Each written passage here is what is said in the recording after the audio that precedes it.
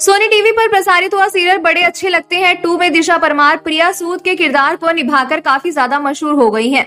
पर बता दें, इन दिनों दिशा परमार किसी और वजह से सुर्खियों में छाई हुई हैं। जी हाँ बता दें, दिशा परमार ने हाल ही में रिवील किया कि वो बहुत जल्द माँ बनने वाली है और जैसे ही इनके फैंस को ये पता चला तो सभी इन्हें माँ बनने पर ढेरों बधाइयाँ दे रहे हैं लेकिन दोस्तों, क्या आप जानते हैं कि दिशा परमार के माँ बनने पर टीवी के कई सितारों ने भी रिएक्शन दिए हैं जी हाँ आखिरकार वो कौन से सितारे हैं और उन्होंने किस तरह से दिशा परमार को माँ बनने पर बधाइयाँ दी हैं। चलिए जानते हैं आज की हमारी इस वीडियो के ज़रिए।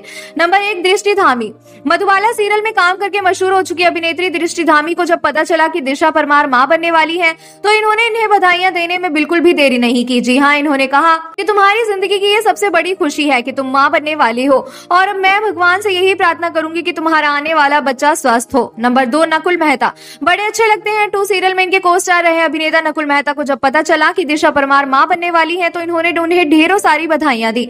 और कहा कि डियर मैं भगवान से प्रार्थना करूँगा कि तुम तीनों के लिए ये नया सफ़र खास हो और तुम तीनों की दुनिया को सारी खुशियाँ मिले। नंबर तीन, सूरभि चांदना।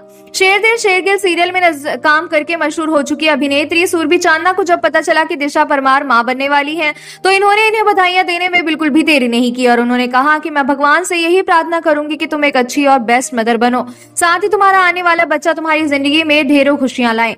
वेल दोस्तों, आप अभिनेत्री दिशा परमार को माँ बनने पर किस तरह से बधाइयाँ देना चाहेंगे कमेंट करके ज़रूर बताएँ। और ऐसे लेटेस्ट वीडियोस देखने के लिए हमारे चैनल को सब्सक्राइब करना ना भूलें।